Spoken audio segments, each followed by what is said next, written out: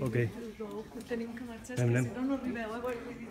Hola, eh, me llamo Romy, eh, soy, me encargo de todo el textil mujer para Salomon, para correr. Y os voy a explicar rápidamente las diferencias entre textil mujer y hombre. Para todo textil técnico que es para las carreras, bueno, las necesidades globales son muy parecidos, que tenemos prendas ligeras, respirantes, etc. Pero también hay cosillas que no son iguales entre hombre y mujer. Por ejemplo, cuando hablamos de la forma de la ropa interior que tenemos, para hombres un boxer, ya veis, ¿eh?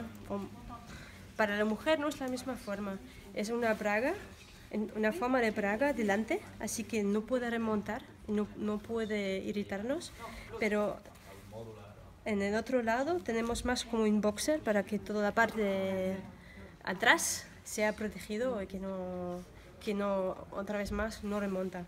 es muy, muy confortable esto y viene, está inspirado en el atletismo de los Estados Unidos, donde las mujeres portan mucho este, esa, esa forma de, de braga, combinación, combinación entre braga y boxer.